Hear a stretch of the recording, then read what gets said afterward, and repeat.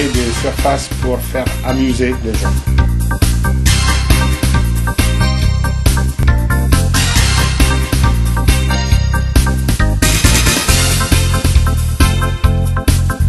Ce qui permet de faire tous les mouvements typiques de la glace.